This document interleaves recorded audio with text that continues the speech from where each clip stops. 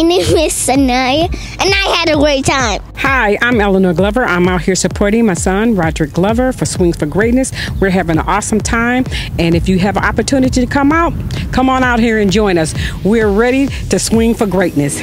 And this year, Hello, guys. My name is Zamora. Um, I I come here every time for Swing for Greatness. It's a good time for people to get together and enjoy time golfing, and and it goes for support, fellowship, for many things. And it's very fun out here. You have many people of different ages out here playing golf, exploring their talents.